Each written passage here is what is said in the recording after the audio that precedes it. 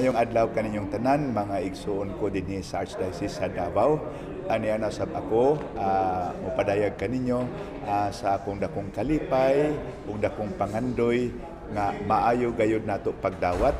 ang pag-host sa ika-16 nga Mindanao Sulu Pastoral Conference ang karong bulan sa Oktubre magsugod sa Oktubre 16 adlaw nga Lunes dinhi pahitabuon lagi sa atong syudad sa Davao ah, dito sa Waterfront Insura Hotel.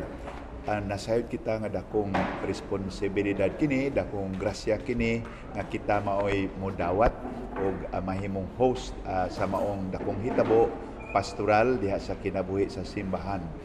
nagawag ako kani kaninyong tanan ah, ah, una nga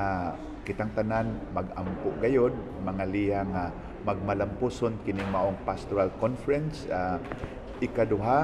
ah, nga unta kamo diya sa matag katilingban magisgot-isgot bahin ni ini makikhinabi ni ini magusisa kung unsa kini magpakisayod sa iyang pastoral nga tuyo alang sa kinabuhi sa simbahan sa tibuok ah, Mindanao. Ah, ug ikatulo uh, uh, kini ang importante usab nga ang matag usa dinhi sa Archdiocese sa Davao gikan sa mga kaparian, mga reliyoso, mga leaders, mga yanong mga pamilya diya sa atong mga JKK o pa- parokya nga unta dunay ika-ambit, ika-paambit sa dunay ika-hinabang, dunay ika-suportar aron magmalampuson kining maong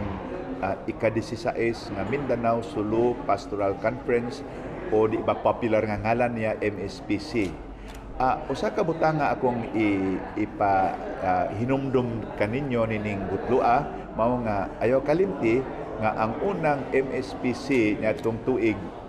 1971 ang una gyud ah nining talagsaon nga lihok sa simbahan ah, dinhi sa Mindanao. Gihimo dinhi sa siyudad sa Davao dinhi sa Archdiocese sa Davao busa atong dungog nga sa ikaduha nga higayon. Atong pahitabuon atong saulugon ug kita maoy host nining ah, maong hitabo nining ka- ah, musunod nga MSPC dinhi sa Davao